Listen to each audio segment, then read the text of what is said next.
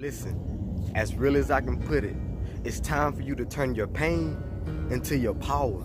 It's time for you to turn that broken you into the best you. It's time for you to stop focusing on what you're moving from and start focusing on what you're moving into. Stop giving your time, your energy, your attention to all the things that did nothing but injected your heart with pain. Stop looking back, stop going back, and stop turning back to the things that did nothing but make your life a living hell. Understand your past doesn't have your healing, your future does.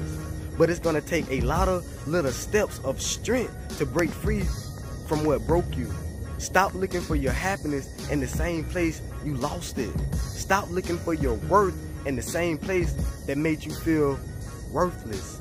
Stop looking for your healing in the same place that hurt you. Listen, love can't be found where it doesn't exist. You heard me?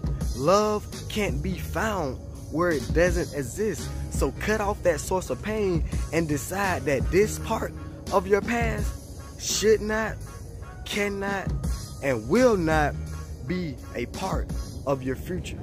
Stop going back to what broke you. Straight up. Hustle and motivate. Peace.